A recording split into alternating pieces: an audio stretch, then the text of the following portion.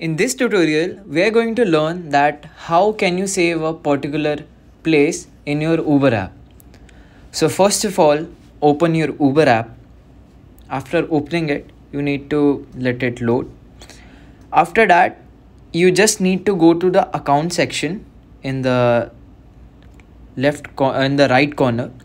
Then you have to click on settings after clicking on settings you can see this these options like add home add work shortcuts. In this you have to select shortcuts. And then there is a specific area where you can add the specific address you want to save. So you can access it very easily.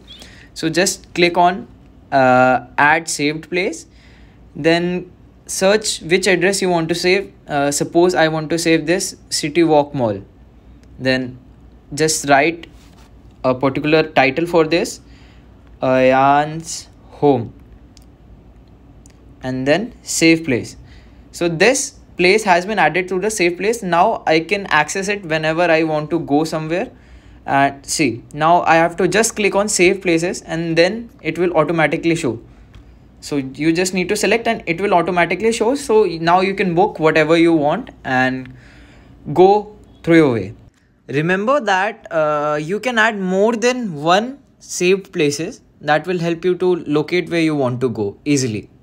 Like you can add a specific uh, place for your home or a specific place for your work workplace like where you want to go to office.